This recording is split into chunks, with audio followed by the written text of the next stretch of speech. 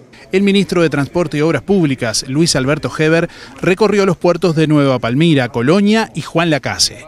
El jerarca llegó por primera vez como ministro buscando conocer de primera mano las posibilidades de inversión y trabajo para impulsar el desarrollo de las localidades. El Ministerio de Transporte viene estudiando la posibilidad de exonerar amarras en el puerto de yates de Colonia con el fin de generar un atractivo para que lleguen más embarcaciones. Y estamos instrumentando medidas como para poder exonerar y que esto sea un atractivo ahora.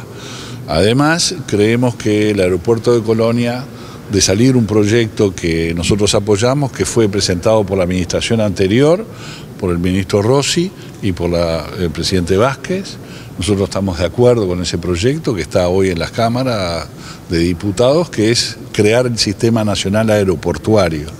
Esto es que el aeropuerto de Colonia, el de Salto, el de Rivera, el de Melo, el de Santa Bernardina, conformen un sistema nacional aeroportuario que no se limite por medio de concesión de privados, ¿no? que pongan la plata porque nosotros no tenemos los recursos.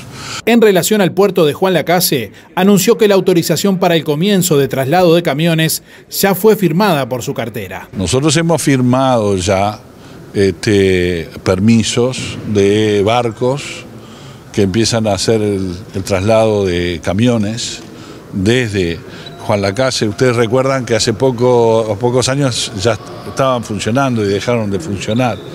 Entonces este, ya tenemos una autorización y hay otros interesados para empezar a tener una comunicación Buenos Aires-Juan Lacase en materia de cargas que no será mucho empleo, pero es de a uno come la gallina y engorda, dice el dicho, ¿no? El ministro de Transporte y Obras Públicas, Luis Alberto Heber, dijo aquí en Colonia que el sistema de PPP no es conveniente para el país. El ministerio piensa terminar con las ya proyectadas y no avanzar en nuevas PPP.